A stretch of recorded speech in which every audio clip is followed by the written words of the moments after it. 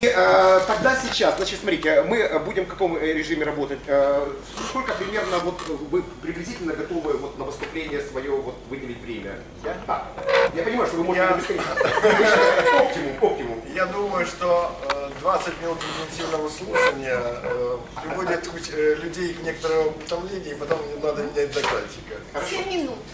7 минут мы готовы удерживать во Помню. внимании. Потом задаем А потом- вопросы, а потом потом 3, 3 по 7. включается. Хорошо, 21 минута устраивает? Да. Хорошо. А, значит, а, потом у нас будет э, небольшой такой кофе-брейк и общение. И, или нет, у нас будет два, два выступления. У нас будет второй э, Виктор Громовой. И после Виктора Громового мы сделаем такую паузу, кофе-брейк, общение. И у нас пос- после этого когда Ирина и а, Екатерина и Ирина, да? Хорошо? Такой последовательности устраивает? Значит, и, э, но э, при этом, так сказать, вот если вдруг у нас какая-то появится какая-то интересная тема, или у вас будет желание э, включиться, добавить по- это самое, то значит мы в любом случае это делаем. То есть формат круглого стола мы соблюдаем, несмотря на наличие таких вот, назовем так, условно, докладчиков. Итак, хорошо. Э, Яков, вам сейчас время и место. Я буду, единственное, что следить за временем. Хорошо? Потому что э, очень важно, чтобы вот в это прекрасное время, да, так сказать, чтобы не, не начать думать, блин, надо было все-таки на пляж пойти. Да. Вы мне даете отмашку, так сказать, и бросаете в меня чем-то тяжелым. Да.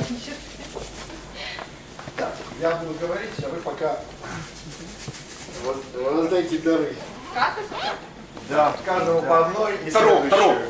И вы А находите... если у вас уже есть, то не берите. Да, если нет, то берите. Это двух А, видов. хорошо, вы начинаете По две, говорить... по две. Да, От каждого вида. Э, э, Я раздал... С этой стороны пускайте вторую колоду, и где-то они встретятся. А у меня второй. Да. Так, значит, э,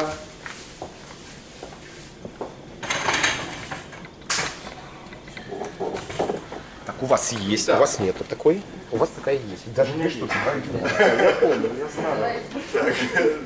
У вас тоже есть. Не было. когда зовут карточку, тогда на самом деле это два разных раздаточных материала. Вы можете будете потом обменяться. Надо две, да. Так. Если у вас у каждого будет две, то это будет замечательно. Если нет, то Не доберите, ведь Сейчас же работать надо будет. Сейчас. сейчас, да, я думаю, надо всем.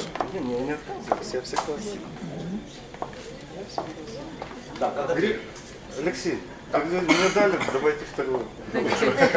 Если не хватит, будем вы- выкручиваться. Если хватит, то значит, остаток, остаток положите на столе и да, потом какие еще люди придут, и мы тоже расскажем. Значит, смотрите. Э, Я буду сейчас в центре, потому что там слишком жарко. Вот. Значит, в 89 году в Москве с Еленой Николаевной мы впервые э, договорились о том, что э, старая школа – это очень плохо. В Москве было время э, буйных экспериментов, и мы тоже сделали свой эксперимент. Он назывался «Школа творческого развития личности через изучение стихии и культуры». И это была другая школа, к нам приходили разные родители, анализируя то, чего они хотят, мы выработали определенный язык. И родилась э, вот такой термин, он чуть более поздний, теория уровней абстрактного интеллекта. Деятельность человека можно описать формально. Если у вас простая деятельность, то у нее маленькие номера. Если больш- э, сложная деятельность, у нее большие номера. Но всего номеров 8 получилось. Так? Э, Я возьму тоже две карточки. И этими, это так же, как в музыке есть ноты, ими можно записать любую музыку. То есть также любую деятельность человека можно э, с- описать формально, и это дает повод для обсуждения, анализа и каких-то э, прогнозов. Так вот, э, давайте посмотрим. Э, На каждой карточке есть на одной стороне, нет, на обеих сторонах, есть номера от 0 до 8, да? От 0 до 8. Это 8 уровней, от 1 до 8. Основные от 1 до 8, но иногда мы используем э, то, что ниже первого нулевой, то, что выше восьмого девятый. Но вообще от 1 до 8. Эти 8 уровней сложности по номерам имеют пиктограммы. Точка, кучка, да, видите, с другой стороны. Ля- стрелочка, много стрелочек. Это процессы, много процессов. Так? Э, Плоскость или карта и много карт. Кубик или система и много систем.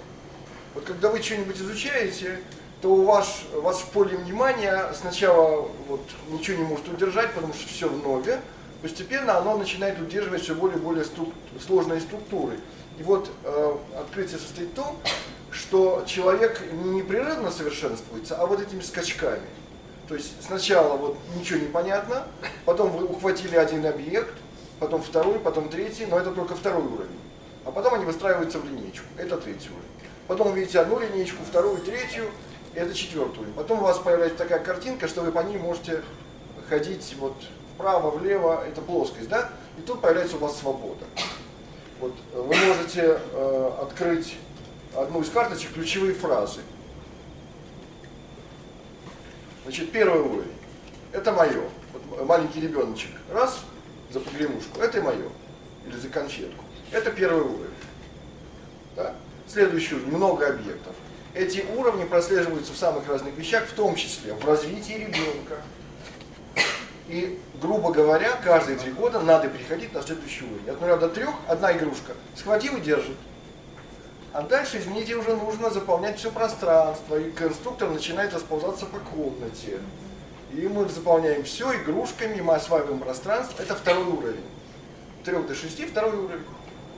А дальше человек идет в школу, и в стандартной школе его учат читать, писать, считать. Это все линейные деятельности, потому что он может удержать процесс. А если вы берете раньше, процесс рассыпается. Буквы знает, слово сложить не может. А в какой-то момент раз, и мозг созрел, и третий уровень актуальный. Вот когда мы в 89 году, 89 году это просчитали и поняли, что вся школа стандартная на этом заканчивается, подумали, ой, потому что человек дальше должен делать более сложные вещи, а его на линейной деятельности держат вплоть до ЕГЭ сегодня, да? То есть он должен знать план решения и по этому плану пройти далеко-далеко-далеко по линии. И все. И больше ничего не нужно. И э, с точки зрения этики, посмотрите, это мое, мы хорошие, они плохие. Это этика второго уровня. Вот здесь хорошо, а там плохо. Здесь светло, а там темно, черное и белое. А третий уровень, да, вот мне написано, кто сильнее, тот и прав. Потому что есть вертикальная шкала, и каждый хочет жить выше другого. Показать, что он самый-самый-самый умный, да? Обмен угрозами все время. Это третьего уровня логика. Вот мы какие крутые. Это третьего уровня, это советская школа, вот она наплодила вот это. Вот. На самом деле это прослеживается и у ребенка, но это прослеживается и в истории. Откройте картинку с пирамидками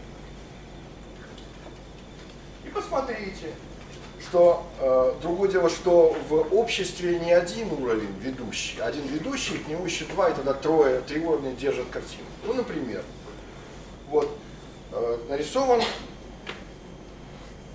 э, 1, 2, 3. Античный, античность. Да?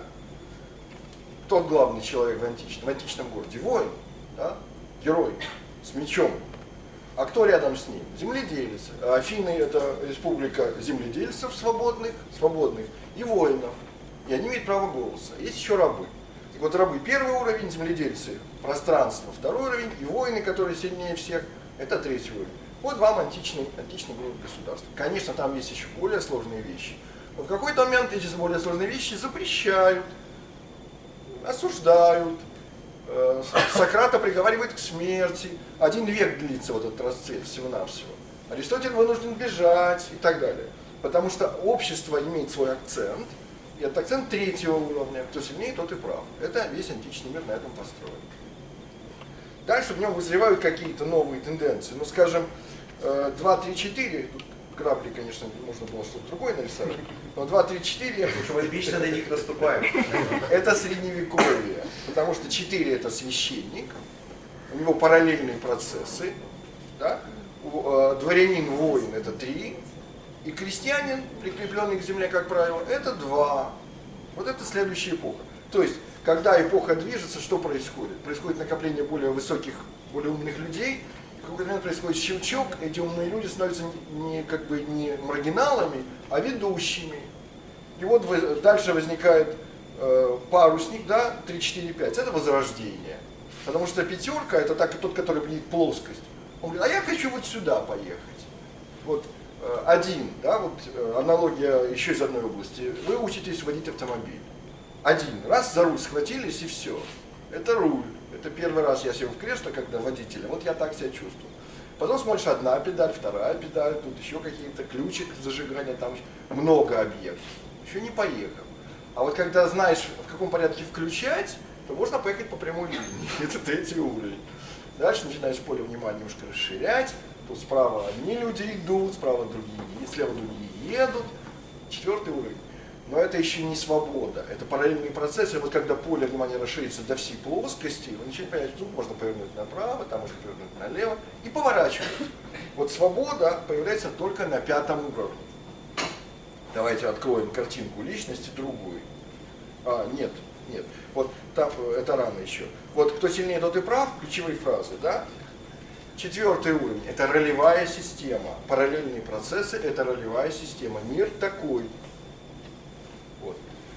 А средневековое общество – это ролевая система. А возрождение – это свободный человек. Он сел на корабль и поплыл. И поплыл. Вот. Поэтому тут парусник 3, 4, 5. А дальше оказывается, что одна плоскость это мало, потому что я-то маршрут проложил и проехал, но если я более умный, я могу в уме проложить несколько маршрутов и сравнить их. Но для этого нужно иметь мощное поле внимания, которое держит разные маршруты, выбрать лучший. И тут начинается наука и теоретическое мышление. А почему, спрашивают? Почему этот маршрут самый лучший? Отвечая, ответ какой? Посмотри, сравни, посмотри. Но чтобы сравнить, надо видеть поле внимания, которое держит много плоскостей действительно, да, лучше. Это шестой уровень, и это э, правовой, не просто капитализм ранний, да, возрожденческий, но это э, правовое государство. Потому что шесть это тот, который думает, а потом делает, это ученый, это теоретик, он доказывает, это юрист, который по закону и в суде доказывает, что так, а не иначе должно быть, а то, что это нарушение и так далее. Но рядом с ним, э, ну вот что такое э, завод, да, это, скажем, вот тут нарисованы автомобили. Что такое автомобили? Это инженеры, которые проектируют, оптимизируют, все рассчитывают и объясняют, почему так, а не иначе. Ниже стоят менеджеры, ниже стоят квалифицированные рабочие. 6, 5 и 4 – это современное машинное производство, индустриальное. Да? А дальше начинается непонятка, потому что вы выходите из этой плоскости раз и в третье измерение. И начинается вот компьютеры, а дальше у нас планшет нарисован, да? Это следующая эпоха. Вот индустриальное общество заканчивается там, где заканчивается классическая наука. Уже Эйнштейн уже не классическая наука, квантовая механика уже за пределами. Да? И это уже 20 век. То есть 5, 6, 7, там изобретатель становится главным. Это э, следующая эпоха. Это постиндустриальная. Не индустриальная, а постиндустриальная. Но и этого тоже мало. Потому что весь 20 век наизобретали, а оно теперь взрывается. То есть человек на восьмом уровне должен этим как-то управлять. И если вы посмотрите, ну вот есть сеть, да, сеть это такое изобретение. В этой сети выходят люди, вы выходите в сеть, и рядом с вами в одном, одном форуме люди из разных стран, и у них другой бэкграунд, и вы должны с ними договариваться. Потому что на восьмом уровне человек может держать много систем. Если шестой уровень – это моделирование чужого сознания как однородного своему, я математик, и вот математик, и вот математик, и я им доказываю, и они со мной соглашаются, хотя могут и проверить, и усомниться, то на восьмом уровне это моделирование чужого сознания как неоднородного своему. То есть я понимаю, что я, допустим, там, белый американец, а он, там, индеец Наваха, у него другой, за ним стоит другая культура, и я понимаю, что его культура самоценна. Вот когда американцы не просто там уничтожали, а стали восстанавливать, не только культуру, например, э, восстановили, например, волков, которых истребили. Восстановился этот биоциноз, который был исторически в Центральной Америке, в Северной Америке. Они восстанавливают. Вот это уважение к э, системам, как самоценным, другим, разным, нужным, это восьмой уровень. Если вы сегодня хотите решать сложные проблемы, да, вы можете по-простому решать но это будет прошлое время. По-сложному нужно, вы сами должны держать это в поле внимания и коммуницировать с разными науками, с разными взглядами, с разными взрослыми детьми, как-то это гармонически сочетать. Но это восьмой уровень. Тут, правда, еще должен быть написан девятый, который для нас просто это свободное владение. Потому что восьмой он просто видит. Он видит, что этому плохо, он видит, что этому больно, он видит, что там надо срочно что-то делать, менять подгузники. Но он должен принять решение быстро. И это уже не совсем 8. 8 слишком много видит и тормозит поэтому. А девятый, он успевает понять, кому можно помочь и помогает прямо сейчас. А кому завтра, а кому помочь нельзя. Вот. Это что касается описания того э, языка, на котором я предлагаю вам анализировать мир, историю, развитие ребенка, 9, 12, 15. Почему, э, почему начинается конфликт в школе? Старой, в обычной школе. Потому что э, линейная деятельность в 12 лет уже совершенно неинтересна. Ну, совершенно. Когда ребенок берет а, проект на одного, это еще линейная деятельность. Он сам. А когда он говорит, я хочу в команде, а это уже 12 лет, это норма, извините. А если ему нельзя, а если сам никуда не подглядывай, ни у кого не списывай, это, извините, нарушение его внутренних программ. Программы развертываются, а мы их блокируем. Нельзя этого делать. А дальше тинейджер, да, пятый уровень. А я так хочу, а я хочу попробовать. Вот. А дальше шестой уровень. А почему? Объясните, а зачем это нужно? Так все делают. Не годится. Вот. Значит, в чем, кстати, главная стратегия? В том, что видеть, какой уровень соседа, и давать ему плюс-минус один, потому что сотрудничает только соседний уровень. Если он говорит, я так хочу, ладно, подумай, вот ты сейчас прыгнешь с крыши, дальше ты ломаешь ноги, и все это лежишь в больнице. Нравится? Не нравится. Вот. Поэтому сначала подумай, шестой уровень с пятым кооперируется. А если нельзя, и по второму уровню, можно, нельзя, ну, конечно, конфликт, конечно, можно там чего-то предотвратить, но это простое решение, оно не развивает сложных. Вот, тут есть еще одна картинка, которую мы не посмотрели. Это иерархия ниши стратегии. Это, собственно, почему эта непрерывная шкала делится на такие э, ступеньки. Потому что в обществе существуют солдаты, офицеры, генералы, как бы один тип управления, ученики, учителя, ученые, другой тип управления. Это существует и все время возникает. И э, эти люди занимают определенные ниши, и в этих нишах существуют определенные правила, э, определенные понятия, определенные способы мышления. Первый, третий, пятый уровни – это уровни солдата, офицера, генерала. А второй, четвертый, шестой – это уровни ученика, учителя и ученого.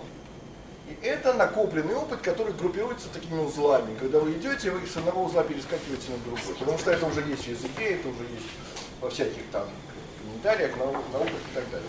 Но этого мало, потому что дальше возникают сверху странники. Это люди, которым мало. Они хотят, в одной, а у них столько энергии, это называется статические стратегии, динамические. Статические вы выучились там, допустим, на учителя, и учитель, учитель, учитель, учитель, учитель. Все. А есть люди, которым этого мало, они учатся и принимаются дальше. Вот он учитель, вот он написал учебник, вот он уже все понял и пошел изучать другую науку. Учил второе образование, третье образование, четвертое образование. Это странник. Вот. Так что седьмой и восьмой уровень, это когда люди странствуют. 1, 3, 5, 7, 2, 4, 6, 8. Но деваться некуда, история такова, что задачи вокруг, да, э, как, что э, должен уметь человек, который этим владеет. Он должен, во-первых, бить уровень того, тех, кто рядом, во-вторых, уметь дать уровень такой, который кооперируется с этим партнером, да, чуть выше, чуть ниже, плюс один. И третье, видеть уровень задач, которые стоят здесь перед нами. Вот задачи выставлены, седьмой, восьмой уровень. Новые технологии все время появляются, сверху падают, да, на нас, деваться некуда. Седьмой уровень. И люди разные сами приходят, и надо с ними договариваться. Это восьмой уровень. Это задача объективна. Если мы можем это отвечать на эти запросы, значит мы ус- успешны. Но мы, по крайней мере, должны видеть уровень задачи, уровень участников, которые пришли решать эти задачи, и собственный уровень. И как-то это все сочетать. Ну и э, как бы э, последняя, последний аккорд в этой малой, в этом малом эпизоде школы. Вот тут я нарисую, потому что это штука трехлетней давности, а запросы жизни, они нам диктуют вопросы, и мы должны на них отвечать. Значит, школа. Один. Действует, давайте я сейчас, э, теперь вы уже понимаете, что такое означают эти цифры. Эти теперь вам будет легче понять то, что я сейчас скажу. Значит, э, 8, 7, 6, 5, 4, 3, 2, 1. Да? Значит, школа 1, индустриальная, существует в диапазоне 2,6. Вот. Э, Плохой вариант, ну, это глупый вариант. 2, 3, 4, когда э, глупый ученик просто знает, что можно, что нельзя и не нарушает. Э, ученик поумнее, там бежит впереди всех и лучше всех выполняет задания, а учитель рассказывает по учебнику, что нам значит, в едином учебнике государственном написало наше родное правительство и значит, ведущая наша коммунистическая партия. Вот. Значит, это 2, 3, 4. Ну, можно побыть поумнее конструкция, когда учителю разрешено некоторое экспериментирование, да, дети умные уже могут рассказать своим ученикам, соседям, как-то их чему-то научить, а глупый ученик все-таки тянется и все-таки чего-то достигает. Ну и самый умный вариант, это когда у вас приходит профессор из университета со спецкурсом, а тут все-таки какие-то эксперименты учителя ведут, а тут дети, которые все-таки в командах что-то такое делают. Это умный вариант. Но все равно он находится в, этой, в этих периодах, потому что здесь все ограничено, творчество ограничено уже готовой наукой. Приходит человек, э, знающий, как правильно решать дифференциальные уравнения, и вас этому учит, но на высоком научном уровне. Вот. Нас сегодня интересует не эта модель, а модель школа 2. Вот. То, что мы видим здесь, в этом замечательном пространстве, оно простирается вот так. И специально, скажем, если мы говорим о тьюторстве, то это с восьмого уровня по пятый. Потому что свободное решение принимает ребенок, я хочу к этому тьютору, я хочу вот этот предмет. И его никто не спрашивает, почему, ну хочется человеку.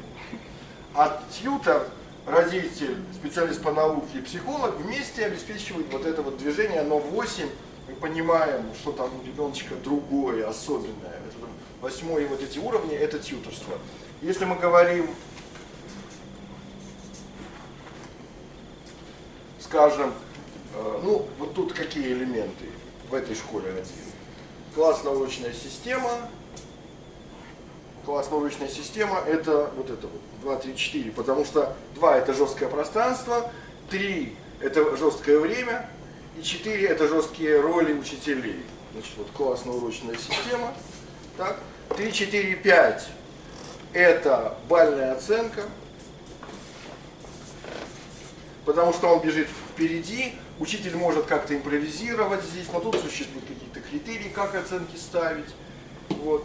И э, 4, 5, 6 это предметно-тематический план. Когда наука говорит, как надо правильно преподавать, расписывает, и учитель четко это выдерживает этот план, который задан сверху, сверху спущен. И расписывает в журнале там каждую темочку, как она и положена быть.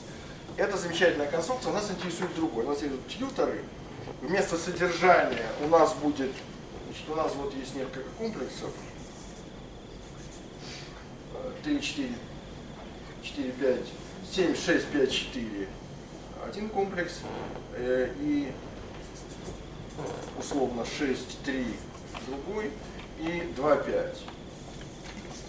Вот там, где у нас пространство, 2, оно не жесткое четвертое, оно по пятому уровню с импровизацией. Вот у нас, а с сегодняшнего дня у нас пространство от Гарри Поттера. И мы его переделываем. А потом оно еще какое-то. Да? То есть и у нас вот эта вот система гиб- э, гибкого пространства времени, вот этот термин я сейчас просто сказал, раньше было немножко по-другому. Гибкое пространство время покрывает со второго по пятый уровень. А с третьего по шестой у нас покрывают проекты. Потому что третий есть цель проекта всегда, но ее надо организовать лучшей группой, принять там какие-то решения свободные по ходу и обосновать, что вы сделали правильный выбор. Доложить, презентовать, чтобы все поняли, что ваше решение было оптимальным. А есть еще э, группа 4.7, когда вы занимаетесь содержанием, я называю это сеть знаний. Вы должны на седьмом уровне, самое научно передовое, вот прям свеженькое журнала научного, вытащить вписать это в науку и дать это содержание, чтобы кому интересно, чтобы он это узнал, понял и подключился. Вот эти блоки, они дают совершенно другую картину. Это модель, которую надо строить, ну и которая отчасти воплощена вот здесь. Вот. А эта модель, которую все знают, любят, ну она позапрошлый век. Так, конец первой части. Ваши вопросы. Хорошо, видите, мы классно все уложились, так сказать. Да. Сколько минут сказать. Пока есть Мы сработали, так сказать, на ура. А, пожалуйста, коллеги, смотрите, тут очень хорошо было, да, был определенный элемент интерактива, мы все-таки не просто слушали, да, так сказать, мы могли там со- соотнести... картишки. Да, картишки. Да, ваши вопросы по сказанному выше. Да, а, а во-вторых, самое главное, что так или иначе вы наверняка накладывали то, что говорилось, да, на какие-то ваши уже существующие модели, потому что сидящие здесь все, как минимум, так сказать, где-то так приближающиеся от, девятого до, до восьмого, да. Поэтому, пожалуйста, вопросы, вот как бы, может быть, даже с позиции вашей модели, да, как это соотносится, попробуйте соотнести, пожалуйста. Слушаю. Екатерина. Э, Мне очень интересны корреляции с моделями Грейвза, Да. с моделями Кегана, Спокойно. Значит. Грейвс, замечательный автор. А, Какие годы жизни? А, Не середина 20 века. 1914-1986. Значит, э, эта штука была придумана, ну, не совсем в такой формулировке, в 89 году на материалах детей и родителей той школы, которую мы делали в Москве. Э, Я писал какие-то статьи в интернет, что-то выкладывал значит, бумажно, лекции, да, лекции прочитанные в Москве, потом приписывали неизвестному автору, и я встретился потом в Москве с людьми, которые значит, нашли меня как этого автора, они, оно вошло в книгу как «Лестница странников». Есть даже такой сайт, люди, связанные с коммунарским движением, это использовали, ну вот не могли вспомнить автора. Я с ним встретился, и это э, одна волна. Значит, э, Теперь книга называется вышла... «Лестница Якова», да? Да. Книга, э, впервые в Москве вышла книга в 2005 году.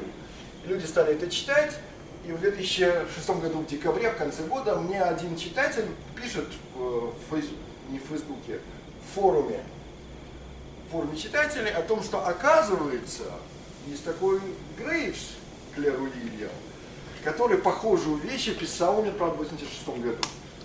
Я ничего о нем не знал до 2006 года.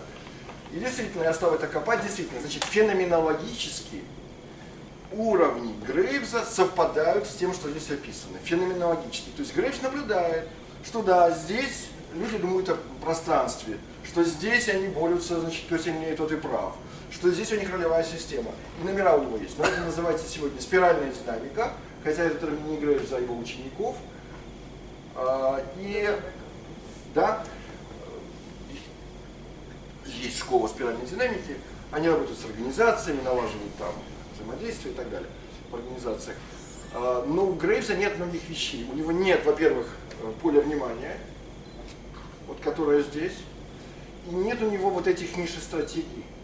А это позволяет понять механику и поэтому применить не только в наблюдаемых э, поведениях детей, э, вот этих людей в обществе, но и в поведении детей, но и в самых разных вещах. То есть это позволяет вот эту формулу не просто увидеть там, где она описана уже Грейвзом, а увидеть в самых разных местах.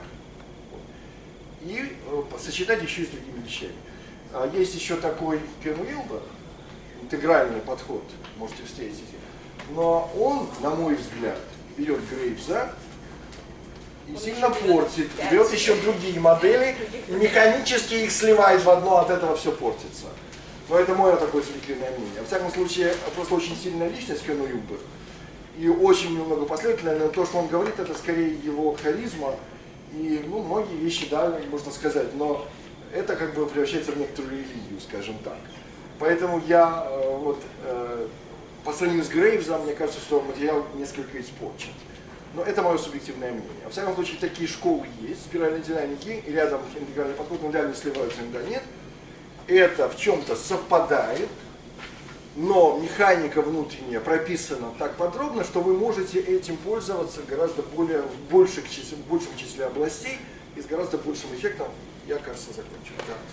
Ну, На самом деле это замечательно, что я всегда, например, радуюсь, когда какие-то мои придумки совпадают с чьими-то придумками. Это означает, что мы, идя из разных, так сказать, изначальных позиций, да, приходим в одну единую вот эту точку. Значит, эта точка правильная. Это не случайно это забрел, так сказать, и заблудился, да. Значит, э, поэтому э, ну, опять же таки, здесь у меня есть такая тоже определенная метафора, э, консервный нож. Да? На самом деле э, есть разные модели консервного ножа, но главная их задача всех открывать банки. Если у вас просто консервный нож, который можно поставить и влюбоваться, он банки не открывает, он бесполезен. Поэтому вы можете принять любую модель, да, в принципе, выбрать эту модель или ту, которая вам ближе, понимая, что существуют и другие модели, которые тоже открывают вашу консервную банку. Вот, и, э, скажем, применять по назначению, ну, когда как удобнее, нужно Здесь простая задача отличить то, что было, от того, что должно Да. быть. И она вот На, на самом деле вполне э, логично этому, ну, действительно, у меня есть своя какая-то модель, но она э, Изоморфна да, в некотором смысле. Да, другая, да, которая на самом деле абсолютно не противоречит этому, что и, собственно говоря, мы пытаемся вот в нашей школе, э, мы, сразу хочу сказать, мы еще школа полтора, так сказать, это самое, не, не один, не Надо два, дотягивать, а полтора, да. То есть мы, мы сейчас вот в этом прыжке, так сказать, между вот этой школой и вот этой, да, да, мы уже летим, то есть мы уже там оторвались, а сюда еще не приземлились. Поэтому, э, ну, э, по крайней мере, э, пинок, так сказать, изначальный, так сказать, нам дети задали, и мы вот, вот сейчас в полете, да, и вот надеемся, что Дети считывают это и да, требуют приземлимся без потерь, так сказать, здесь, и уже тогда будет действительно вот в полной мере вот эта школа реализована. Сейчас пока нам приходится лоббировать между теми требованиями, которые нас ну, Зажимают. зажимает государство, и мы имитируем для государства школу один максимальным образом, и, но для э, себя мы уже, мы уже понимаем, насколько вот это важно и как это должно быть по-другому. Хорошо, давайте у меня есть... А, еще, да, пожалуйста, конечно. Но можно только вот, у меня такой более практический вопрос. Да? Слушаю. Не, не из, таких- Да-да. не, не из академических. Вот когда мы говорим о каких-то школах, там, седьмого, восьмого уровня, там, или такой вот там, школа Афина, у нас всегда стоит вопрос отбора детей для этой школы. Да. То есть, следовательно, как Так. есть какие-то дети, которые могут или там легко воспринимают идеи, а есть какие-то дети, которые там в силу разных обстоятельств находятся на третьем, четвертом, Так. у них семья на таком и так далее. И вот когда мы строим не отдельную какую-то школу, где мы набираем людей, преподавателей, создаем корпоративную культуру и так далее, а когда мы говорим там о практических механизмах там ну, масштабирования, Да. да. Потому что все-таки Вы вопрос за- закончите, да, я начну да. отвечать. Ну, Вы же вопрос, наверное, знаете. Как Нет, нет, нет, я, вот есть как масштабировать каким, это каким вопрос. Образом, каким образом Так, масштабировать скажу. при абсолютно разных начальных... Скажу. Значит, первое.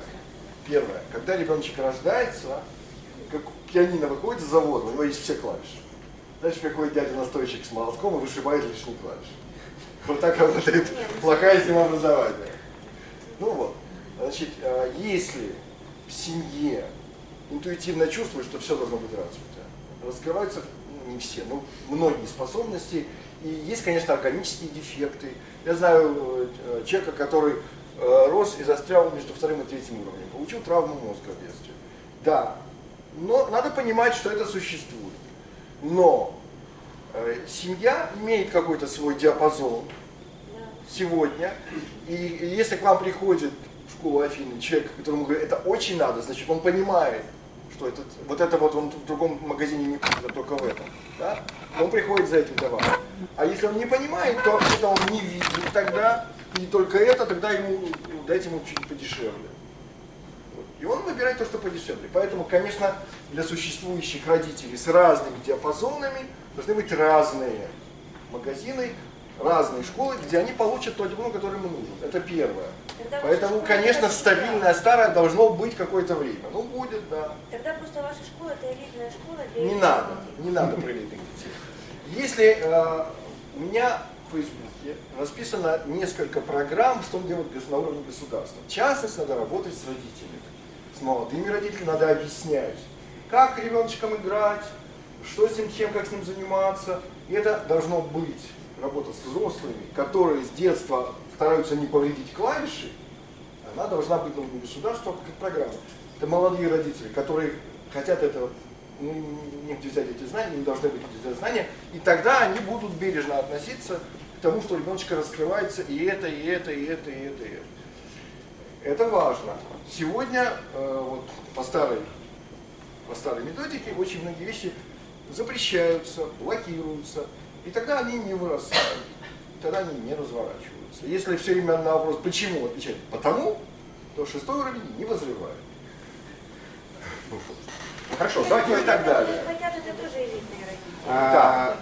Всегда. Родители, которые не хотят. Ну, здесь, здесь ну, вопрос по пониманию, что есть элита. Я на самом деле с вами согласен, но это не означает элитность, не означает обязательно дороговизну. Нет, да, да, да, мы- да, да. Ну, в данном случае, а, ну а как вы тогда должны? Ну, то есть, либо мы здесь говорим, это здесь элита находится, либо здесь элита, да? Где-то на каком-то краю. Вот, но если мы г- говорим элита это деньги. Нет, ну, нет, ну, э, да. Тут, же ж, э, Хорошо. Я, э, так, давайте поблагодарим. Так, Еще вопросы, может еще вопросы вопросы будут, будут, хорошо, ну так, да.